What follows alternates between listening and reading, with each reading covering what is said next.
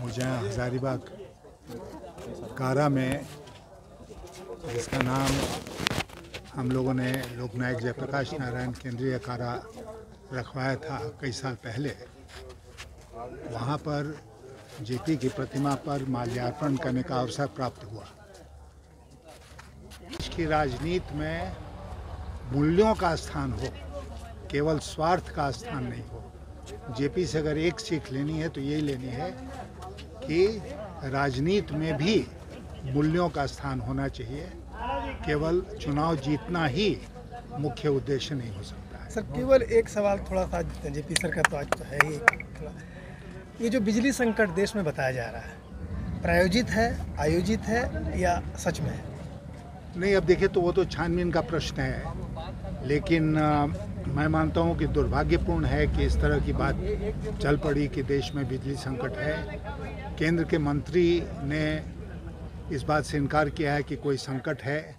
लेकिन हम लोग यहीं हजारीबाग में महसूस कर रहे हैं कि संकट है क्योंकि बिजली गायब रहती है। तो इसलिए संकट से मुँह नहीं मोड़ना चाहिए।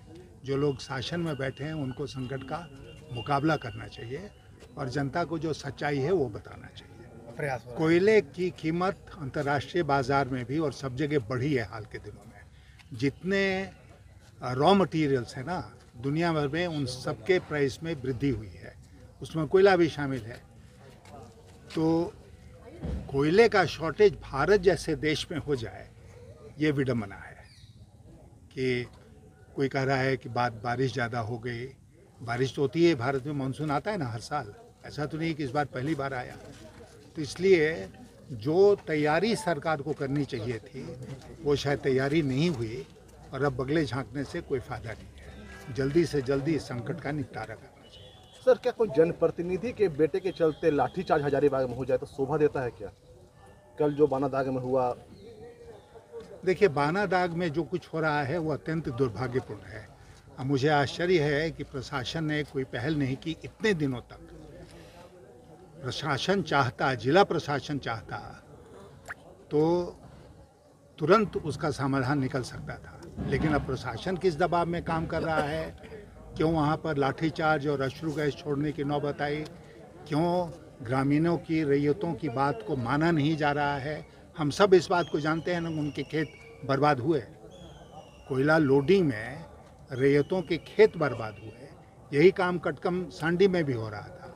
वहाँ जब रैयत खड़े हो गए तो वहाँ बंद हो गया।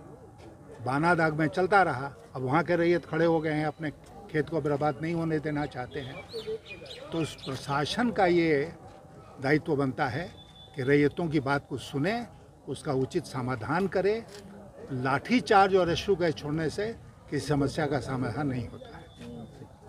न्यूज़ अपडेट के लिए आप हमारे चैनल को सब्सक्राइब करें। आप हमें फेसबुक और इंस्टाग्राम पर भी फॉलो कर सकते हैं। बने रहे लगातार डॉट इन के साथ।